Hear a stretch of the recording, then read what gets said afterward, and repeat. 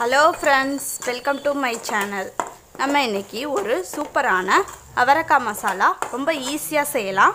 வாங்க எப்படி செய்யலாம்னு சொல்லி பார்க்கலாம். இது வரைக்கும் நம்ம சேனலை சப்ஸ்கிரைப் பண்ணலைன்னா சப்ஸ்கிரைப் பண்ணிக்கோங்க. பக்கத்தில் நோட்டிஃபிகேஷன் பெல் இருக்கும். அதில் ஆளுங்கிற ஆப்ஷனை கிளிக் பண்ணிக்கோங்க. ஆயில் ஊற்றிக்கோங்க ஸ்டவ் கடாய் வச்சு ஆயில் ஊற்றிக்கோங்க கொஞ்சம் அதிகமாகவே ஊற்றிக்கோங்க. அப்போனா தான் வந்து இந்த இந்த அவரைக்காய் ஃப்ரை வந்து நல்லா டேஸ்ட்டாக இருக்கும். ஆயில் நல்லா காயட்டும். ஓ கடுகுளுந்து ஆட் பண்ணிக்கோங்க. கடுகு நல்லா வெடிக்கட்டும்.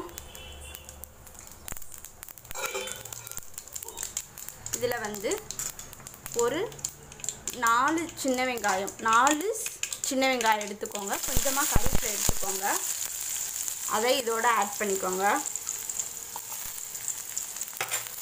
வெங்காயம் நல்லா வதக்கிக்கோங்க. நல்லா வதங்கணும். வெங்காயம் நல்லா வதங்கிருச்சு. இப்போ வந்து இதில் தக்காளி ஆட் பண்ணிக்கலாம். ஒரு தக்காளி எடுத்துக்கோங்க. தக்காளியும் நல்லா வதங்கணும். நல்லா குலைவாக வதங்கணும் தக்காளியுமே. நல்லா ஸ்டவ்வை சிம்மில் வச்சுட்டே வந்து வதக்குங்க. தக்காளி இந்த அளவுக்கு வதங்கினா போதும். இதில் வந்து நம்ம இப்போ அந்த அவரைக்காவை போட்டுடலாம். ஒரு இரநூறு கிராம் அவரைக்காய் போட்டுக்கலாம்.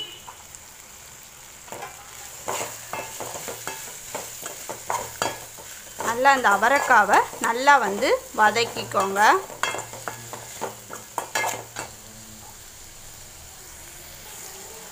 கொஞ்சமாக இதில் தண்ணி மட்டும் லைட்டாக ஒரு கால் டம்ளர் கூட குறைவாக ஊற்றிக்கோங்க ரொம்ப ஊற்றக்கூடாது இப்போது இதை வந்து ஒரு பிளேட் போட்டு மூடி வச்சுருங்க. மூடி வச்சுட்டு சிம்மிலே வச்சுக்கோங்க. அப்போனா தான் வந்து நல்லா வேகும் உள்ளெல்லாம். இல்லைன்னா வந்து பிடிச்சிரும். அதனால் நல்லா சிம்மில் வச்சுட்டு ஒரு பிளேட் போட்டு மூடிட்டு கொஞ்சம் நேரத்துக்கு ஒரு தடவை திறந்து திறந்து பார்த்துக்கணும். பார்த்து கிளறி விட்டுக்கணும். இப்போ பாருங்கள் நல்லா தண்ணி வத்திருச்சு. வத்துனாலும் நம்ம வந்து எண்ணெயிலே கொஞ்சம் நேரம் வந்து நல்லா வதக்கிட்டே இருக்கணும். கொஞ்சம் பிடிச்சிடாமல் வதக்கணும். வதக்கிட்டே இருந்தோம்னா பிடிக்காது இல்லைன்னா கொஞ்சம் பிடிச்சிரும். நல்லா வதக்கிட்டே இருங்க எண்ணெயிலே வதக்கிட்டே இருக்கணும். ஒரு முக்கால்வாசி வந்து வெந்துடும் நம்ம தண்ணி ஊற்றி மூடி வச்சதுலேயே. ஒரு கால்வாசி வேக வைக்கிறதுக்கு நம்ம அந்த எண்ணெயிலே வந்து நம்ம ஃப்ரை பண்ணணும். இதில் வந்து நம்ம மசால் தூள் ஆட் பண்ணிக்கலாம். ஒரு ஸ்பூன் குழம்பு மிளகாத்தூள் நம்ம வந்து ஆட் பண்ணிக்கலாம். நல்லா வேகவும் தான் நம்ம ஆட் பண்ணணும். முதையே ஆட் பண்ணக்கூடாது பிடிக்கும்.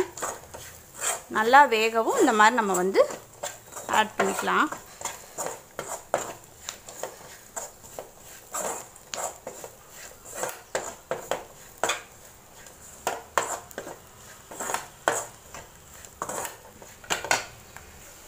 மசால் தூள் போட்ட கொஞ்சமாக தண்ணி வந்து சும்மா ஒரு பேருக்கு சும்மா தொளிப்போம் இல்லையா? அந்த அளவுக்கு மட்டும் தண்ணி ஊற்றினா போதும்.